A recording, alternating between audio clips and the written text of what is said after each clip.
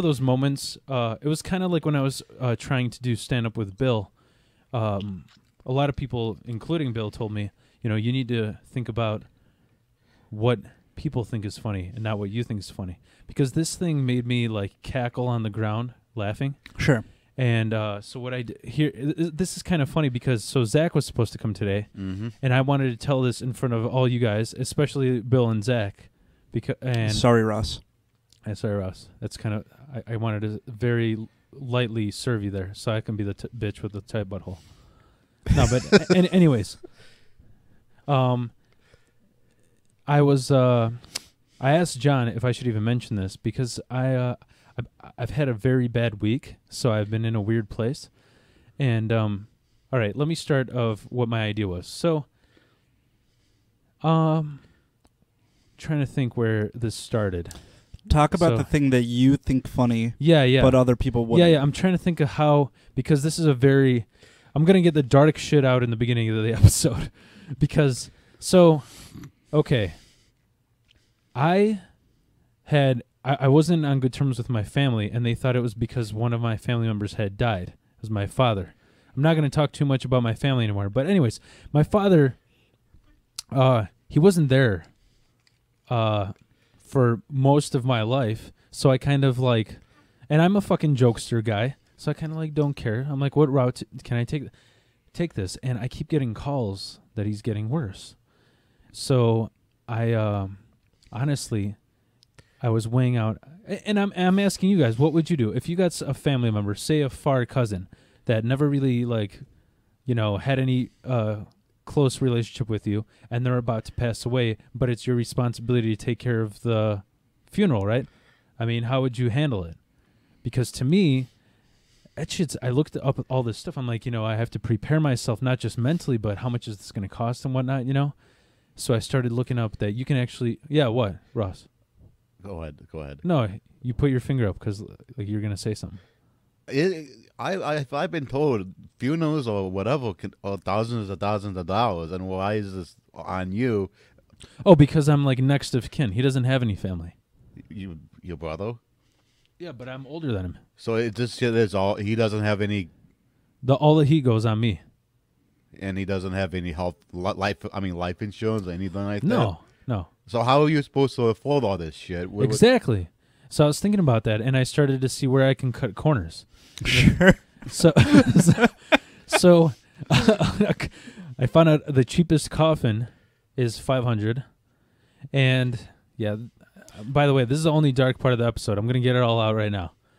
So, uh, what were you gonna say, Bill? No, I was going to say, so if you're looking into coffins, you've decided on like a traditional burial Yeah, yeah, because I feel like there'd be cheaper options than yeah, yeah. like What donating Oh. the body well to i was science. I, I well i i read that it's uh that it's required for a burial a co- so so you can't just like put the body in but I mean, like, there's other options beyond burying. Yeah. yeah yeah yeah cremation and Yeah, that's what- what, why don't you? I personally, if I have one the day I die, um, I would just want a cremation and everybody gets shit faced. That would, that's what I would want with the ashes with your body? with my asses in the in the room. not in the blunt No, okay Okay. I'm like in what they put in the in the in what's in it the called? urn yeah. yeah. and everybody gets and then they, they, me on the shelf, and everybody gets shit faced in my honor. That's what my. Why don't you that you want cremating? Does that cost more than what you want to do? I, I don't know i mean i guess it depends if you set it on fire yourself Right. So- Or you could bury it yourself without the coffin. exactly so so here's the path that i went on Sure. i'm just sipping some tea in the bathtub and Mhm. thinking you know what Meditating yeah about what to do with your yeah father's. yeah cadaver. exactly Okay. a- and, it said you can do it you can bury him on your property as long as uh, the zoning doesn't have any restrictions like you don't want his head you know bursting someone's No. toilet pipe No. and um, so so then the other thing was i ran into this uh, article that said there, there's like this badass uh, like marine guy and he he's like man i got all my guns on my fireplace and i'd love to put my father's skull right in the middle of all Mhm. that and apparently you can there's a pla- i forgot what it's called it's called like a school or skull skull factory or something in michigan where they will taxidermy whatever the hell you give them, but only the bones, and you get and depending on the price, you get to keep it. So Mm. I thought, and this is what I was asking uh, John. I mean, he's been missing a lot of episodes. He wasn't here last time I was Yeah. here.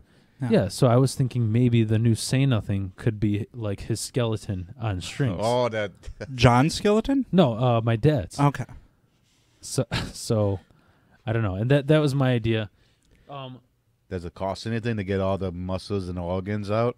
Not if you do don't- it I don't- yourself. yeah, it, well, yeah, that's exactly it. And then I got into an argument with Kelly because I'm like, you know, I know how to bleach the bones. You boil them. Well, the kitchen's gonna smell. All right, I'll do it outside on the grill. You know, and um, eh, you can do all this legally. I was supposed to. This shit is all legal. This, this is all legal, which is which is why I thought it would be. And I'll be honest, this would be great to have a viral show. Like, oh, this guy hear nothing, see nothing, say it has you know, say nothing is his fucking dad's skeleton. Plus, the biggest thing that I thought would be really funny, since I'm on bad terms with the rest of my family, I was gonna bring the puppet with, and be like, hey everyone, I haven't seen you guys in a while, you know, You could make jokes. You You Yeah. gotta- could. Are you gonna do it in English or Polish? in a, in a Polish accent. Yeah, of course, and, and yeah, and in Polish. And you could set jokes up like, "Geez, Dad, have you been eating? You're just bones." Yeah, right. Exact. So, but I started thinking about it, and yeah, it was way too too hard, It- dude. You know how hard it'd be to like try and glue all those ribs together without the cats jumping on them or something, you know. And well, no, what what got me to think about it? That's I'm telling this to John, and John's like, you know, I, and I'm like squealing in the bathtub, laughing my ass off. Sure. And he's like, Phil, I've known you so many years. Y- this is either a complete joke or you really need to go to a fucking mental hospital because he's like, you're the only one laughing about this. So I don't know. He kind of, and then and then I thought about it. What gives him? I a- thought about what he said, and then I thought about, you know what? Conan O'Brien already has a skeleton on his show. We'd be copping off what yeah. gives him authority to know what a person needs to be because hospitalized? he's because he's like a brother to me. I know him in 25 Well, years. I'm saying that's not so why nothing. doesn't he bury your fucking dad? No, there's nothing wrong with your idea. That's not make. It's not harming yourself or others. There's Wait, what? I'm trying to say What's your question? there's, there's no reason to be hospitalized over that. It, it's just the fact that you. Oh, I don't. What what he said, uh, I just found a little arrogant because he doesn't realize the only way you get hospitalized is if you harm yourself or others. What you're doing is it's a little dark, but it's not. Yeah, it's just a little weird. right? Yes, exactly. Not to mention, you don't know how the cats will like hanging out in a rib cage. You know. I can see that happening. I see. I, I've, I've seen that in I think a, in a Simpsons episode. ep- Actually, Yeah. So it's like The Simpsons. yeah, exactly. So I, don't- I, I don't know what you guys. But I also think was of that. thinking about Gavin. What do you think Gavin was will think? Yeah, I, I would not want to Don't- like slaughter my dad in the basement and Gavin Yeah. on that. You know. Mm, no. So Maybe if he was a little older, you, you Yeah. understand. Thirteen. yeah. I feel like twelve or thirteen is the Yeah. age. Hey, my stepdad is uh, uh, what's the word what you you you would do you, a word for it? Alluring. Um, taking muscles and everything out, out of a body. Uh, Cleaning. Yeah, cleaning a dead body. That's fucking awesome. Harvesting. yeah. I don't. I don't know. You know what I'm trying to say? It's a a, a kid like us say, "My t- S- surgeon. yeah, whatever. You get what I'm trying to say. Uh, mortician. I don't know. hey, then maybe that's a new future. Being a mortician, if you have. No, I don't want to do. That's I I. I, I realize John was kind of right. That's that's way too much. Yeah, I'm trying to be funny. I'm not. I disagree. I think you're being very funny. Yeah, I, I never think I'm funny anymore. Oh, Oh, come on, Phil. No, man. So, sometimes, it like doesn't happen. No, Man. it just doesn't, man. like you said, sometimes you can be offensive. What you think is funny, but a lot of times you are funny.